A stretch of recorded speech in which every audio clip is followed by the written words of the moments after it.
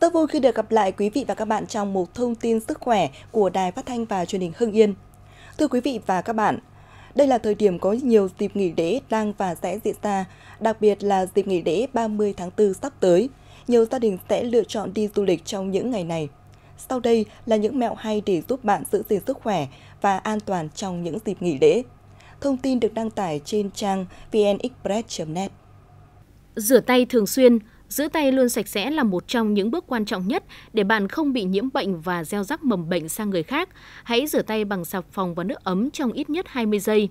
Dùng khăn giấy che miệng và mũi mỗi khi bạn ho hoặc hắt hơi. Nếu không có sẵn khăn giấy, hãy dùng mu bàn tay hoặc khuỷu tay để che miệng. Chú ý đừng dùng bàn tay. Thư giãn, Đừng để dịp nghỉ lễ 30 tháng 4 và mùng 1 tháng 5 trở thành dịp hành xác và tốn tiền. Muốn vậy bạn đừng quá cải nề và tiêu xài quá mức. Hãy cân bằng giữa công việc, gia đình và vui chơi, tranh thủ sự giúp đỡ của người thân và bạn bè, giữ cái nhìn thoải mái và lạc quan và đảm bảo giấc ngủ đầy đủ. An toàn khi đi chơi, dù là bạn về quê hay đi du lịch nước ngoài, cũng luôn giữ an toàn cho chuyến đi.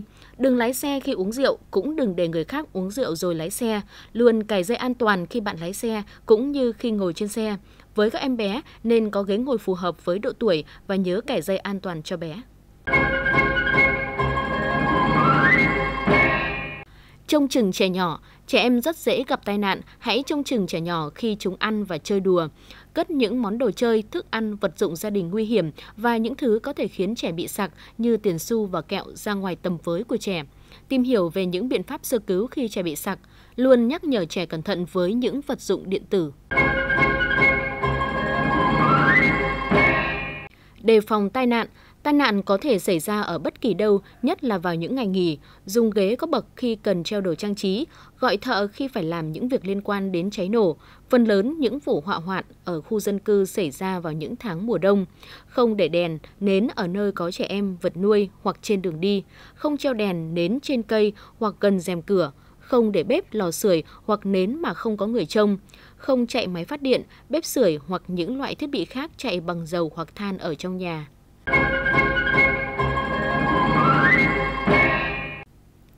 An toàn trong chế biến và nấu ăn Đề phòng các bệnh liên quan đến thực phẩm ngày nghỉ, khi nấu ăn cần thường xuyên rửa tay và mặt bếp, không để thịt, da cầm, hải sản và trứng sống gần đồ ăn đã nấu và bề mặt bàn mâm đựng thức ăn. Nấu thức ăn tới nhiệt độ đủ, bảo quản lạnh đúng cách, không để thực phẩm dễ hỏng ở ngoài quá 2 tiếng.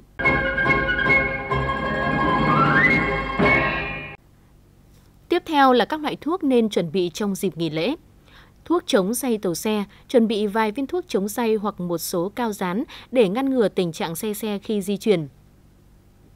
Thuốc trị bệnh đường tiêu hóa cần mang theo các loại thuốc trị tiêu chảy như Orezon, thuốc trị táo bón, thuốc trị khó tiêu đầy bụng, nên chú ý dùng thuốc cho người lớn và thuốc dùng cho trẻ em. Thuốc cảm sốt, khi bị nhức đầu, sổ mũi mà không có thuốc uống bạn sẽ rất khó chịu. Hãy chuẩn bị một ít thuốc cảm để uống ngay khi có triệu chứng. Thuốc giảm đau, hạ sốt nên có paracetamol dùng cho người lớn và trẻ em.